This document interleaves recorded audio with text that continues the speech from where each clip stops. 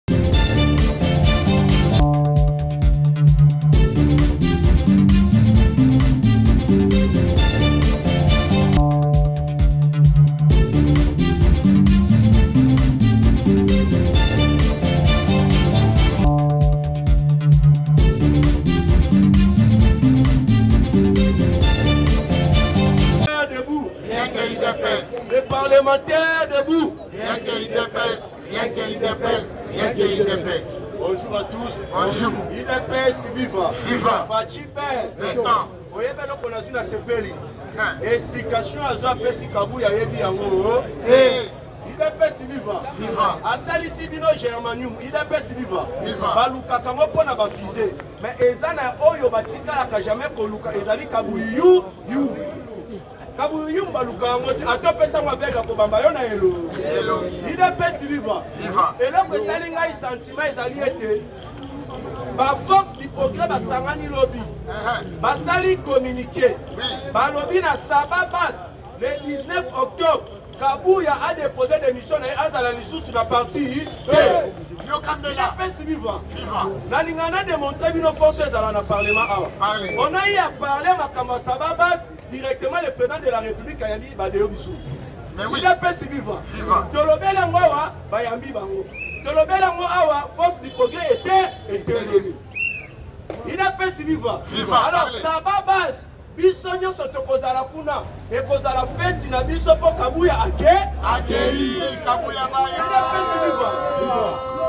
nakolinga na demontre bino eloko moko oyebi bapaya oyo batonda na mboka na biso bamikomisa bacongolais bamikomisa bapoliticien idps viva baza na mission moko eza ya kokabola congo idps viva mission na bango wana batika yango te preuve ane moto nyonso oyo azali na nationalité dutese okomona kaka sutenaka poli kaga kagame le plan maintenant mpo na kokabola congo batali soki balobi bamibimisa toko comprendre bango baza ko utiliser ba congolais nde bango moko nde bakabola congo udps viva kokabola congo baza ko utiliser biso moko nde bakotisa oyo toali kobenga tribali tribalisme ntango yo ozoyokana na katange te tozoyokana biso na biso te se par là nde tozofasilite bango bazwa bokasi à travers biso bakabola congo il apesi viva le plan en question eza complicité na badepute meme kamera ayebi yango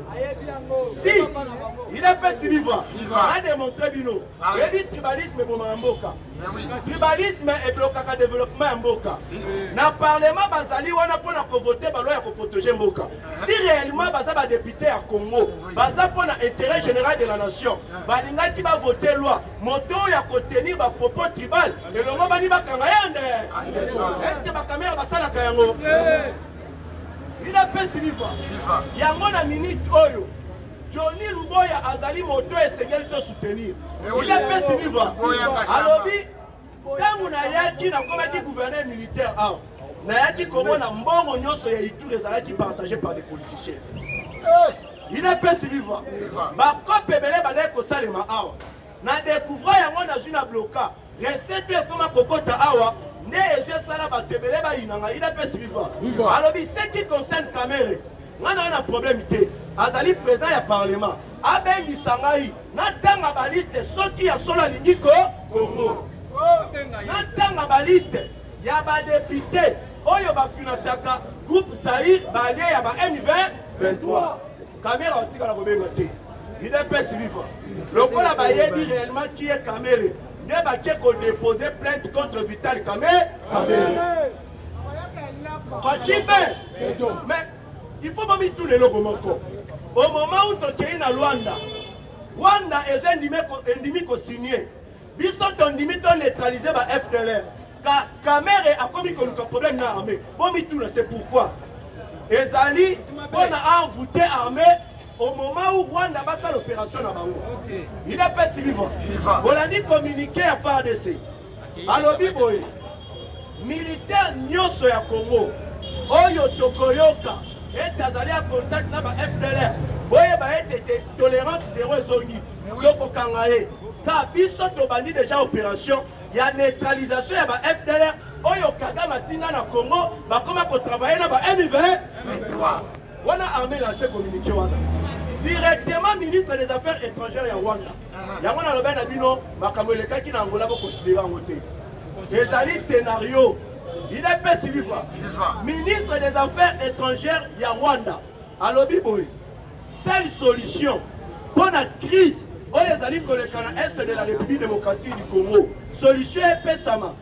elongobani kinshasa andima dialogue politique direct na ba m23 wana eza ministre des affaires étrangères wana il apesi viva automatiquement barejete makambo eleki na loi na loi tosutuka boye museveni mpe azo alobi ngai nalingaka te botya museveni pembeni no makambo oyo ezoleka na este na museveni mpe aza na kati kaguta yoel museveni azo alobi boye Mais tozo comprendre te na Congo.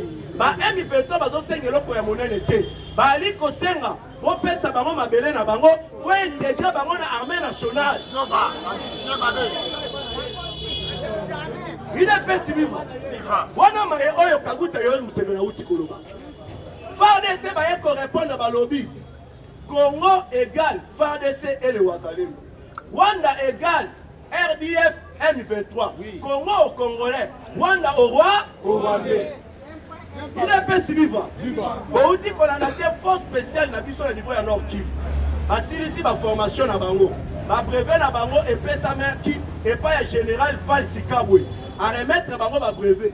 bango bazo déployer bango mpo bamene baopération contre le fdl y compris le mv 23 biso toza kobongama udps viva viva nga nalobaka bitumba ezoleka na congo eza bitumba ya kosokola basecteur nyonso udps uh-huh. viva viva bato nyonso baza ya inc e ne pense pas ke baministre ya inc e bakoki kosala mosala ya malamu mpo na congo udps viva il faut bose rappeler Na repetaka lisolo oyo pourquoi? Mpo boyeba réellement qui est Vital Kamerhe. Au moment où makambo ezosalema na Est, Kamerhe amema mwasi na ye bakenda na zone oyo ba M23 bazali kookipe et sécurisé par les M23. Na retour na ye na Kinshasa, Kamerhe avait dit quoi? Oh non, on doit dialoguer avec les M23. Ndoki. Inapesi viva. Yango toali kosenga arrestation ya Kabase olobi cette fois-ci kabasele akokweya na ma na mai inapesi viva mama akatia ya de choses oyo elekalaka na mboka oyo soki balobi na bino te moye boyeba eza te ministère ya affaires foncières oyo ekambami na minito na mama akasia bazwi ministère wana Mais banda ministère wana ebanda, ministère wana etikala kozala ni na ba bureau. Il est pesi viva. Batikala kozala ni na mabele na bango. Ah! Il est pesi viva. Bakei kuna kofutela wapi na immeuble intelligent. So botali sikoyo ba bureau oyo bazali kofutela oyo bazwi batye bango eza babiro ya bato ya sekirite lokola baa na mpasi ya kozala te Non, omoni batie kofinana kuna mais nous avons connu molendo sako mikie de, de l'unc mais pourquoi asala eloko te aussi mama akasi ake kodekuvre eloko moko eza na bamabele na biso ebele oyo ezali okipe par le bapaya eza lokola ngai naza maître na formaka idps viva ngai naza maître na formaka me na kimaître yango natikala na ngai mpe kopatike te idps viva me olinga na patika te nazoforme bato mosusu hmm. de même na ministère ya affaires frontières yo moko oza na place te me bapaya bazwi batoni na mabele nde aye kolanse opération ya korekipere bamabele na biso oyo baseda yango na bapa na bapaya bobetela mama akase maboko bobetela bisika wana nani yango azalaki ministre kuna c'était molendo sako il a pesi liwa c'est pour cela biso toloba na mokonzi ya mboka tu sais parfois kosimba constitution c'est très important mpo ekopesa na chef de l'état olia nomaka bainformateur ye moko akobanda kopona bato oyo azwa alingi Udps viva awa banda kopona bato ya shwa na faci ben toyali kokontinue uh-huh. oyebi naza na eloko moko nasepela yango na parlement oyo honorable eliezer awuti koloba udps viva honorable eliezer atouche point moko très important alobi mbongo ya mboka ekóma nango kokende kaka libanda ya mboka olie congo bakongole balia mbongo na bango bazolia yango te pourkui alobi ngai naza depute soki nabeli nake libanda ya mboka bakende kosoigne nga moko etikalaka te ti etikali mais pourquoi awa bakoki kosala bahopito te oyo eza kaka réserve no mpo na badepute mais ezala mpe mpo na bana ya mboka bacongolais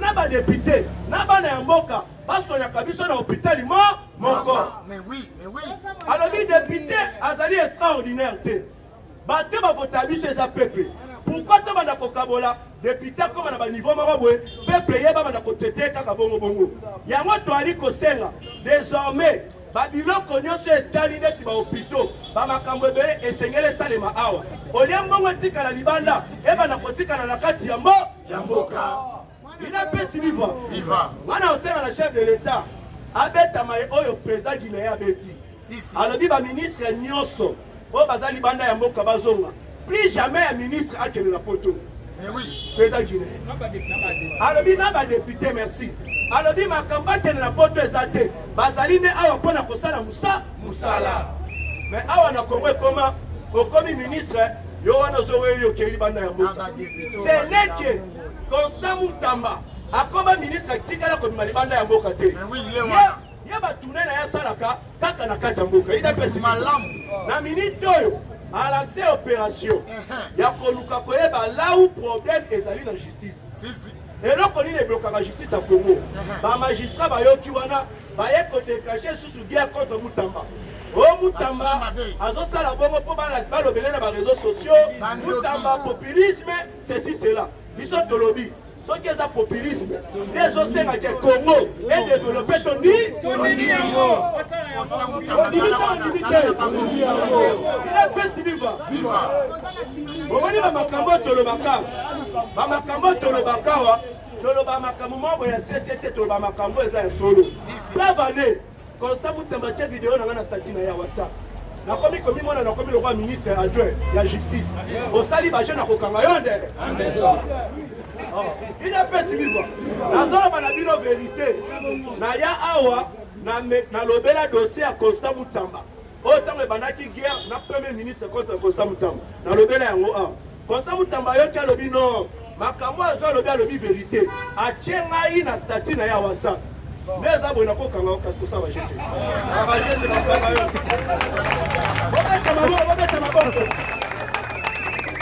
bacibe mukwantombolo be zubu wa bilumbu be mpona mukwantombolo botombola boganga ba idepesi viva nazoshite na dossier oyo oyebi eloko epesi nga kanda eza nini monisco batotalisa plus de 25 ans basala eloko moko te na congo udps viva mission na bango ekoma babotisa ba mouvement rébellion mpo epermettre na bango bayibaka bamatière na biso udps viva na baassassinat ya baprésident ebele Monisco azala na kati. Mais eloko ezo pesa nga kanda. Au moment où tozo linga to changer makambo na Congo, na sutuka na Lubero, Monisco ba se déployer belé na Lubero. Il est pesi viva. Viva. Balobi boye. toye awa mpo na koyede congo na opération tosala elongo na congo ne permeta biso tozwa barwanda ebele tozongisa bango rwanda idps viva moi je dis quelque chose se prépare union européenne Ali ko débloquer 20 millions d'euros pour l'armée ya Rwanda. Botala siko pour na komaske. Oh 20 millions d'euros wana to débloquer ezali pour na opération ya armée ya Rwanda ba komene na niveau ya Mozambique. Il a pas Siliva. OK, ezali pour na opération na makambo ya eh ya est. Fachibe. Notre gouvernement esengi merci na CPI na lolenge ba réactiver ba enquête contre ba crime oyo esalema na est ya rwanda idps viva sibitima toye komona euh, centre afrique centre afrique epe ezo etelemi elobi boye bamilitaire ya rwanda baviola basala baviole ya sorte na sorte na niveau ya centre afrique bango mpe bazali kosenga justice idps viva lokola rwanda awanganaka na ye Wanda aye kolanse communiqué makambo wana biso toyebi yango te eza babiloko mwa boye monte idps viva mais tandis que république du centre afrique baza na bapreuve nyonso ya bamilitaire ya rwanda viol na, na viol oyo bazwi basala kuna idps viva balobi toza na bapreuve nyonso tosengi justice elandela makambo oyo Aujourd'hui grâce ya diplomatie ya chef de l'Etat, bisika nyonso Kagame atiaka lokolo bakoma kolakisa ye mosala. C'est le terroriste en chef. C'est le terroriste en chef.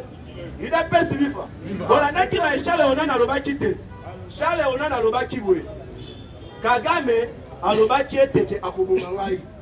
tout simplement mpo nazoloba verite ya makambo ye asalaka na congo nasengi na peuple congolais ngai nakobanga te bino mpe bobanga te bolanda intimidation ya la communauté internationale te bolanda intimidation ya bamedia ya paul kagame te bolanda même pas intimidation ya ye moko paul kagame idps liva soki boza distraire soki bazo distraire bino boyeba ete bokoriske boperde mboka na bino C'est ça l'opération Kagame abanda kosala il y a de cela plus de 30 ans.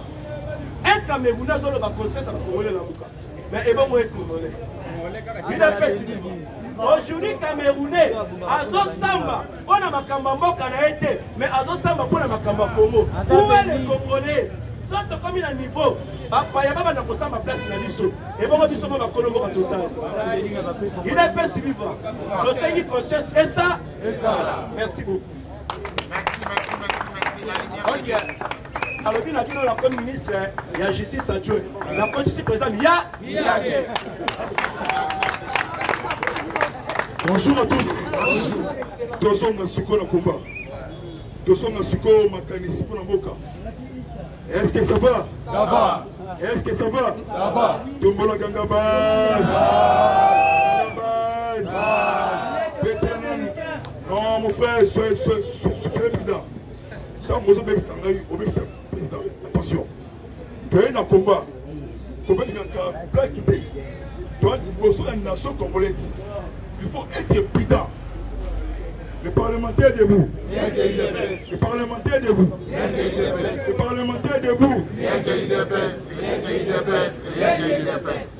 betela nanu mokonzi makasi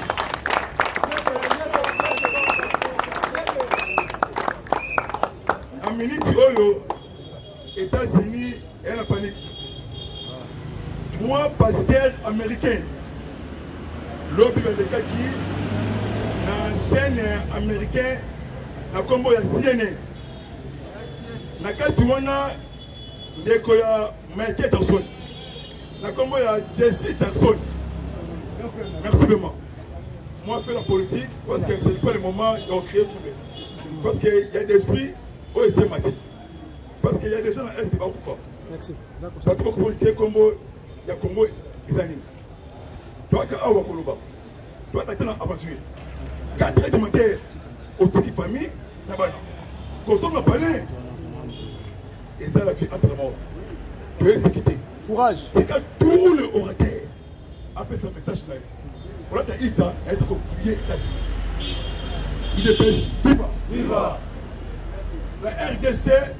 ezali pumo ya monte na rdc lobi trois pasteur américain balobi kamalaris azali incarne na diable azali incarne na diable ye akokoma te présidente se trompe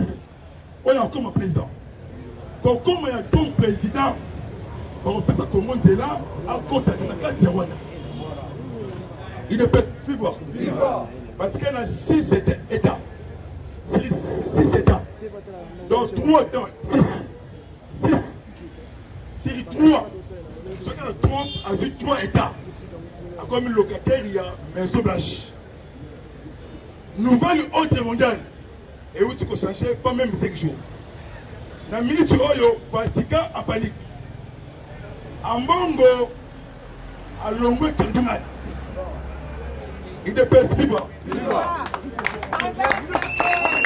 ambongo alongwe cardinal pourquoi pape françois parce que mupa tombolo ya vatican C'est pas pour soi. Bah, interdit en bongo à partir aujourd'hui. Discours politique ya Congo a facé yango. Dédé, abundisa te régime ya Kinshasa. Troisième, auti ko recevoir lettre. Oyo ya démission na ye.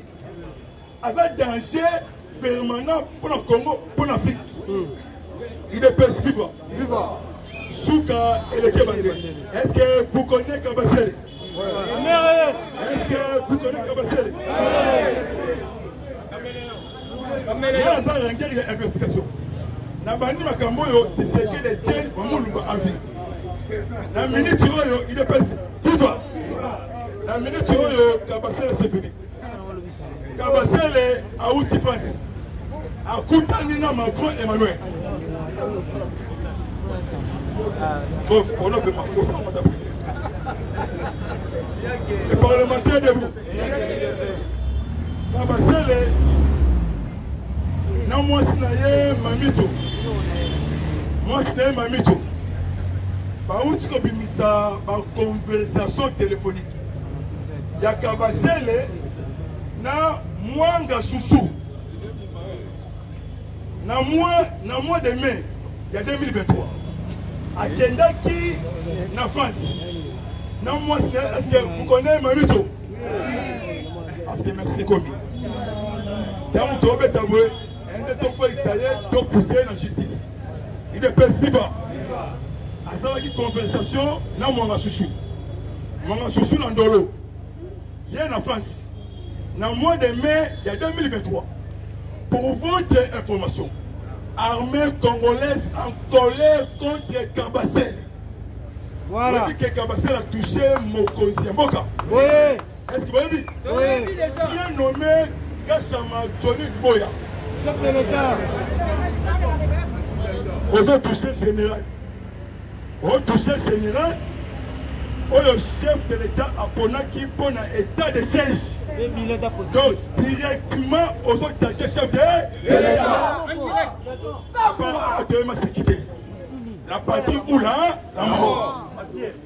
Kabasele aza pio moko stratégique. Voilà. Aza membre ya DGC français. Apesi émission akweyisa kasha malubo ya Johnny. Nde bakweyisaki Constant Ndima combat. Non Kivu. Pour votre information, société civile ya Lubero. Non Kivu. En colère contre Kabasele.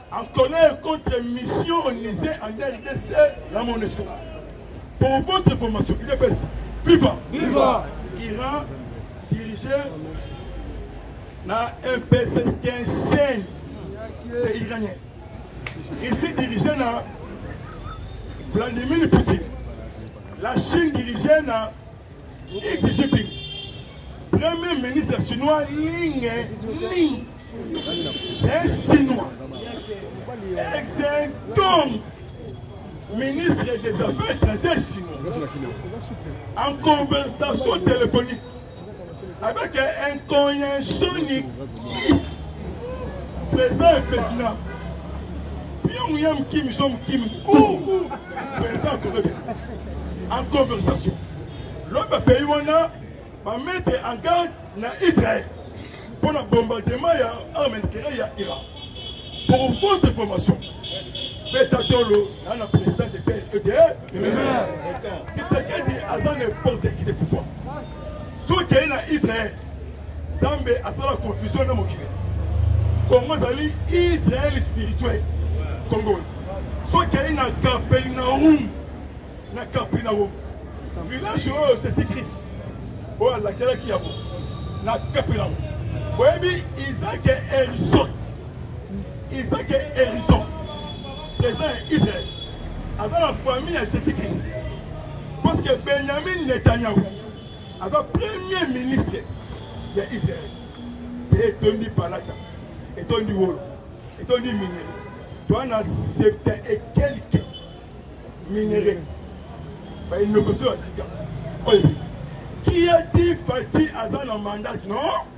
c'est mission confirmé lobi na Jesse Jackson grand frère ya ya papa ya Mike Jackson ayambaki Fatih le 24 avril 2019 autaki Caroline du Nord atambola 1000 km en pied ami au frère na milliardaire nana ba vieux mais message faut na respecter message batindi ngai nayebisa yo yo nde okotia mpe na mokili oyo mobimba na bandeko na yo bakobundisa yo nde place okobimisa congo na mpe na constitution iso historique somoni le 3 pasteur américain mission accomplie apesi miso na cnn babi kamala risi aleka te aza incarne na satana mwana matete ya washington se trompe kende président angola brazzaville crise frappe économique angola kwanza ekomi na basa ekelike 80 kwanza emati na biso awa serieux votre senti maluku deploiement L'Est, déploiement. Congo central, déploiement. Lobi na plusieurs bitumba ebundami lobi lobi ye moko fort excuse moi parce que j'ai parlé beaucoup au jour au jour mpo ngabi mpo ekitia mpo na nga te mpo na koko botika biso toloba tokomi na suka oyo ozala bien parce que soki nandaki mbongo nanga nazwa mbongo natali mbongo te natali komba nakosuifire de moi parce que président ayebi miyake ayebi fimosolo ayebi bof ayebi absolo parce que lonyeka c'est fini pour lui lonyekalisation c'est fini merci na autorité politique de référence mukwa tombolo ndenge okati makambo ye abima avant samedi ah.